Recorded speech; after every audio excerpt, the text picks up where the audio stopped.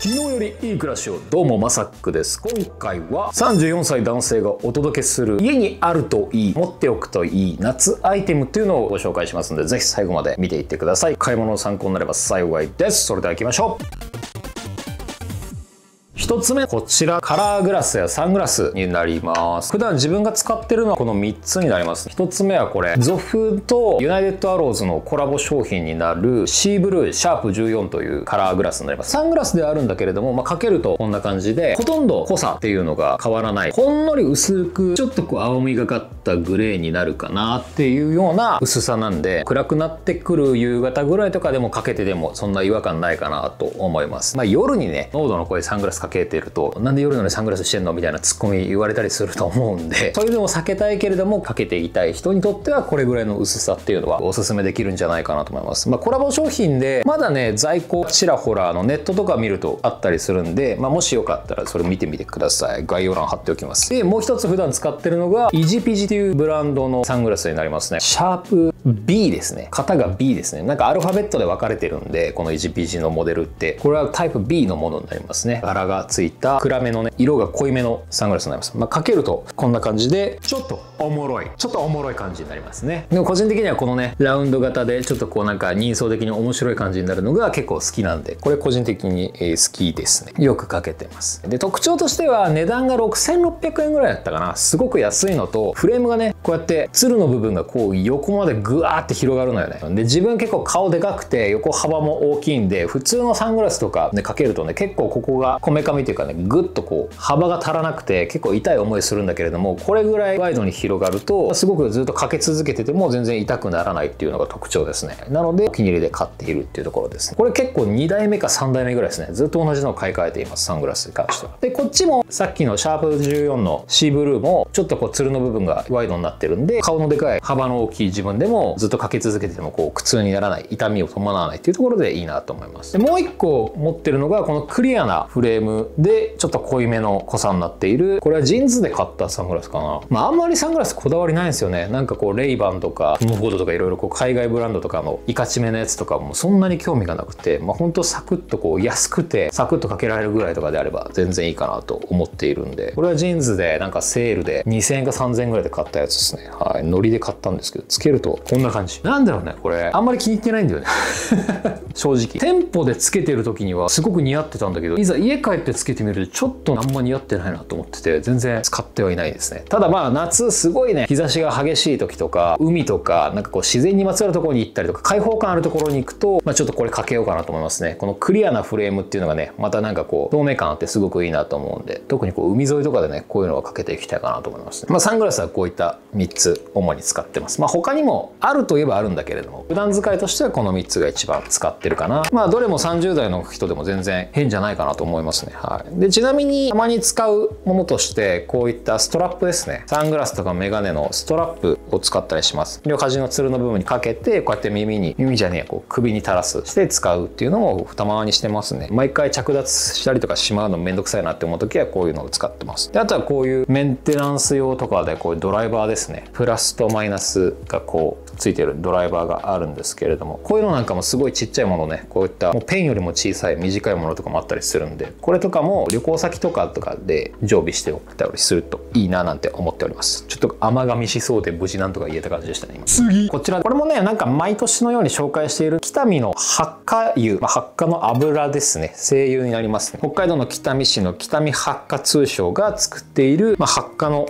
精油になります。もうこれは本当に爽やか。めちゃくちゃいい。嗅いでみたら本当わかるんですけどもとにかく発火のね香り半端ないんですよ。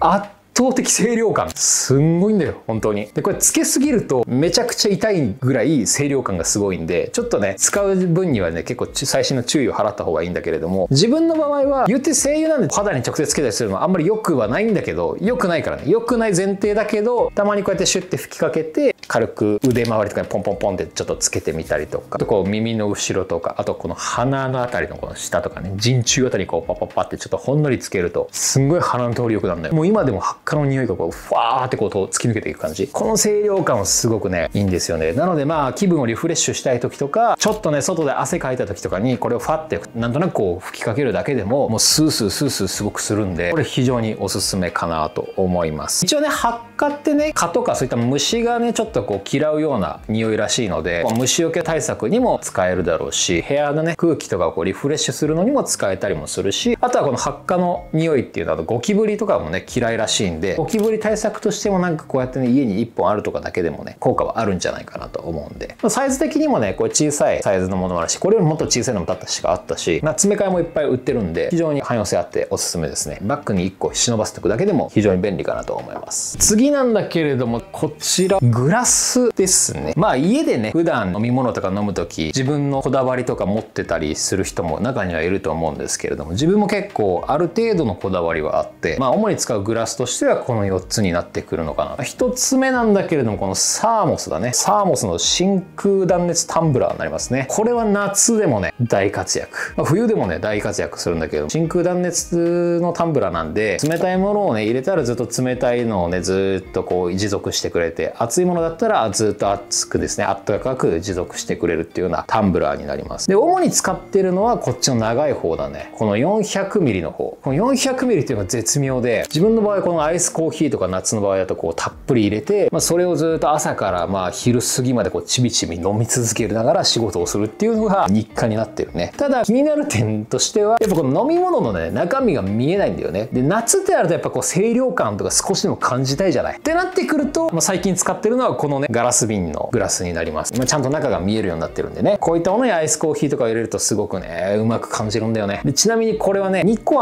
で買ったかな。ここによく見てみると牛の乳絞りしてる人がいてでなんかここに文字書いてあるんだけどこれ。アブソリュートリーピュアミルク。絶対的なミルク。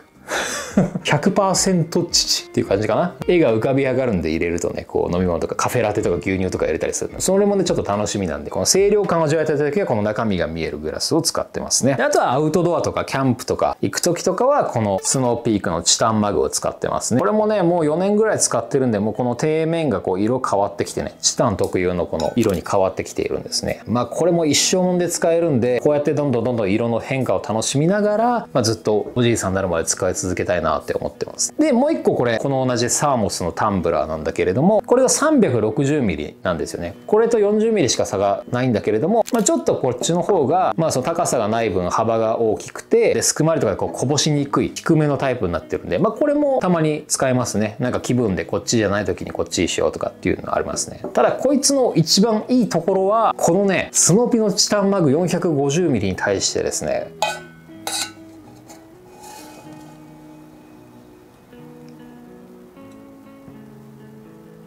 シンデレラフィットすんだよ。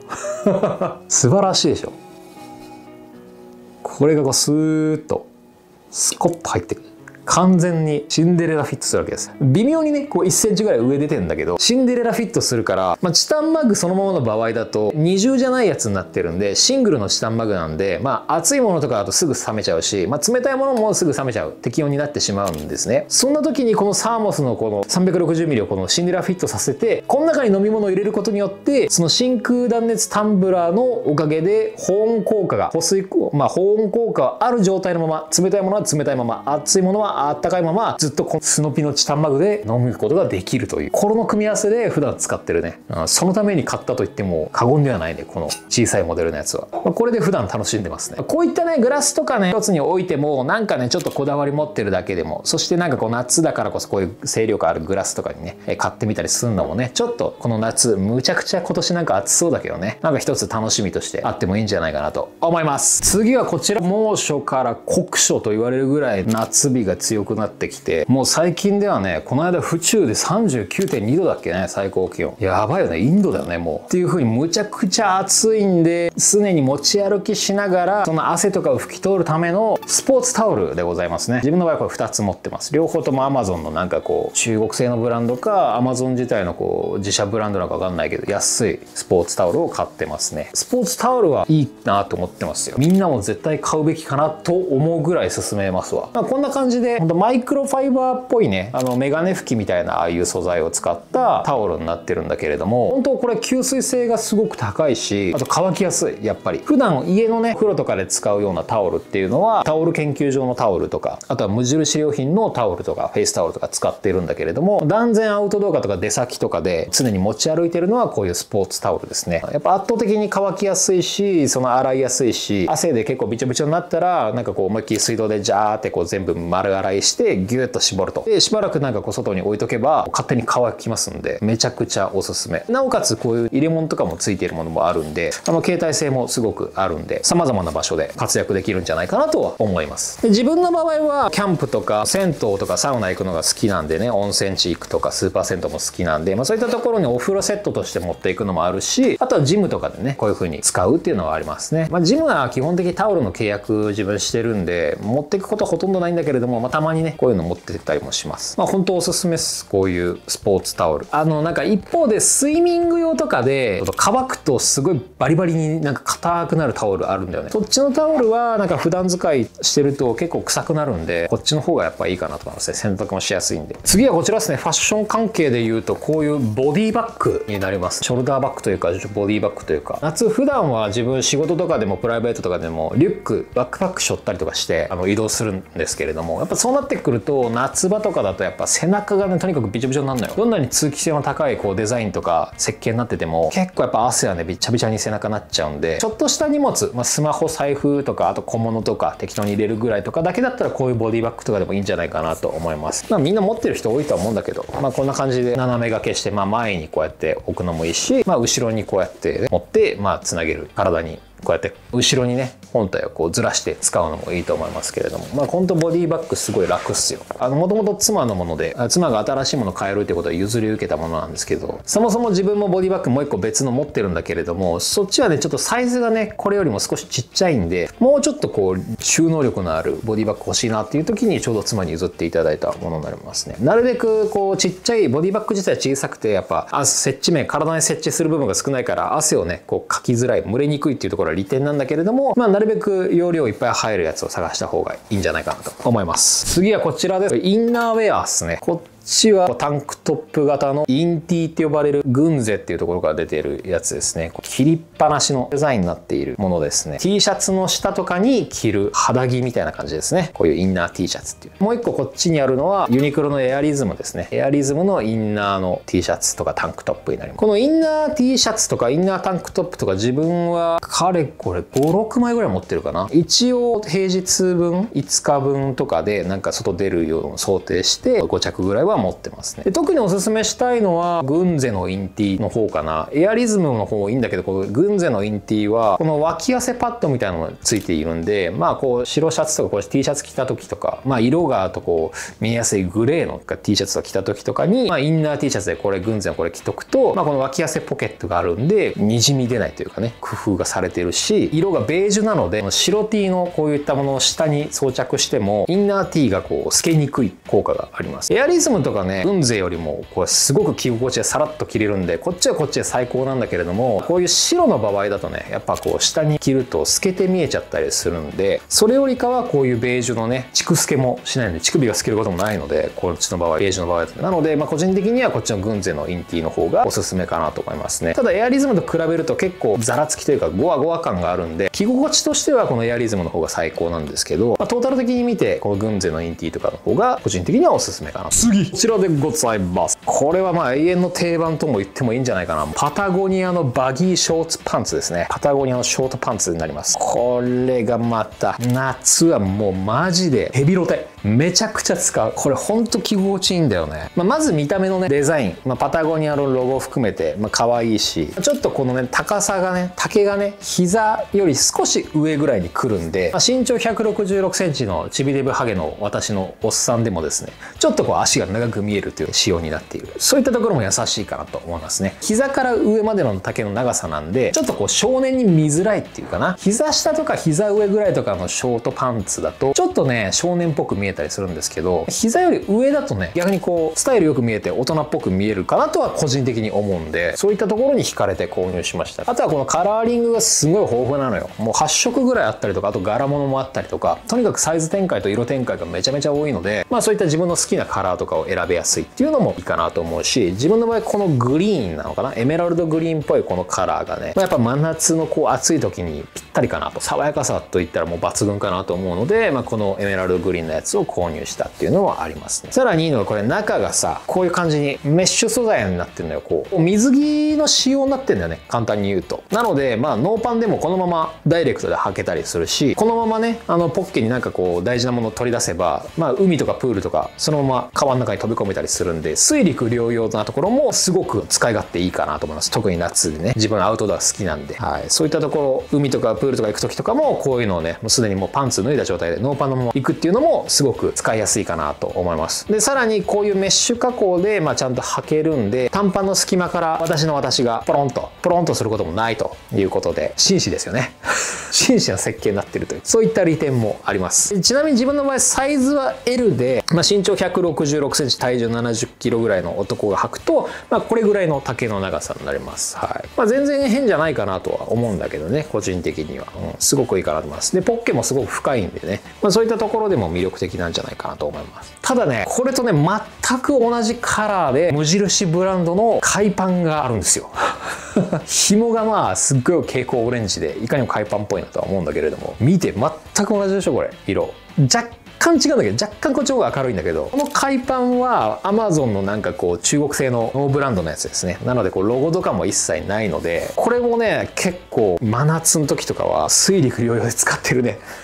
このオレンジの紐が逆にかえってね差し色かましてて個人的には好きなんだよね。ちょっとしたお出かけとかにたまにこの海パン履いてますね自分の場合。で中は普通に海パン仕様になってるんでこうやってメッシュ仕様になってるんで、うん、でポッケも1個あって両サイドで2つあるんで本当にもうほぼパタゴニアと同じ。なのでこっちもたまにちょっとしたお出かけお出かけぐらいとかでは使ったりしてますね。この海パンまあ普通に海とかプールとかでも使ってまあ全然ノーブランドであのなんかロゴとかもなければ柄とかもないのでまあ30代とかの大人な男性とか履いてても全然然違和感ないかなと思います。子供っぽくないかなと思います。で次夏アイテムと言っていいかどうかはちょっと微妙なんですがなんかこう清涼感あるというかね着物がある生活っていいなということで、はい、植物があるとねちょっとやっぱ部屋もね涼しく感じるんじゃないかなと。ということでこういった観葉植物なんかも夏アイテムいいんじゃないかなと思います。これねガジュマルなんだけれども2年ぐらいかなこれ購入してから経つんだけど去年の冬にね全部枯れたんだよね。全部葉っぱがなくなってもう本当にもうお亡くなりになられちゃったかなと思ってとりあえず今年が暖かくなるまでちょっと様子見てようと思ってずっと水やりやってたらこんなにおわんさかし始めたっていう。むちゃくちゃ元気になったっていうね。このガジュマル最高。金運をね舞い込むなんていう観葉植物でございますから、はい。まあ、毎朝こうやって起きてこうスプレーでこう水やりとかして葉水したりとか、まあ、水入れたりとか。でこっちにはなんかあのフランスゴムの木であったりとかあと動画に見えないんだけどこっち側にねちょっとサンスベリアとか今ちょっと育てててそういったねやっぱ緑のある生活っていうのはこう夏やっぱねすごく部屋も生き生きしてでなんかこう風水的にもねきっとねこういい作用が働くんでまあポジティブにすごくなれるかなっていうところでまあ非常におすすめしてます。はい。なんかやっぱ生き物がねお部屋の中にいるっていうと、まあ、すごく活性化されるし夏としてもこのね植物っていうのは観葉植物っていうのはすごく涼しげがあっていいんじゃないかなと思います。はい。次におすすめするのはこの扇風機ですね。扇風機自分の場合使ってるのが2つあって1つはこの小さい扇風機。これがですねまあ昔ちょっと動画にもしたんですけど小泉っていうところから出ている卓上扇風機ですね。卓上ミニ扇風機。レトロな扇風機でございます。これもう見た目最高でしょ。ほら超レトロなのなんか昭和を彷彿させるこの昔ながらの扇風機で、まあ、何がいいかってこの押すボタンがねすごくいいのよ。ちょっと一回聞いてもらおうかなちゃんと。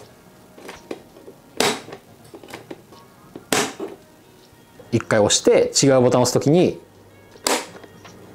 このトーンっていうこのこのねスイッチの戻しがめっちゃ昭和っぽくていいのよ。うん、押し心地最高です。で、結構ね、これ弱と中と今日あるんだけど、弱にしたままとかでも結構静音性高いから、まあ、寝室とかでこれちょっとかけながら寝るなんていうこともやってますね。で、一応タイマーが3時間まであるんで、例えば3時間タイマーで弱にした状態で首振りしながら、まあ、空気を循環させて、ちょっと、まあ、涼しい環境で、えー、眠るなんていうね、えー、そういったこともしてます。で、まあ、卓上扇風機なんで、まあ、普通に床置きっていうよりかは、机の上に置いたりとかして使ったりとか、まあ、床にこうやって直置きする場合とか、なんかね、サーキュレーター代わりとか使ってもいいのかもしれないね。でもう一つ使ってるのがこちらのテクノスっていうところが出てる、まあ、こちらもレトロなね扇風機になりますね。全部がこうステンレス製なのかな？ちょっとこうシルバー製で作られてる扇風機で。これはね池袋の山田電機かどっかのアウトレットで2000円ぐらいで購入したんですよね。でまあ作りとしては本当にもうシンプルですね。もう首振り機能があって強中弱があってであとはこの高さを調節できるっていうぐらいだけですね。はいもう至って普通の扇風機です。でもこのデザインがやっぱねかっこよくてすごくこれに惚れて夫婦で購入したっていうのが背景がありますね。これも非常に今年の夏また大活躍してくれるんじゃないかなと思います。最後はサンダルですね。自分の場合今サンダルはこのウーフォスのリカバリーサンダルと手羽のアウトドア系のこの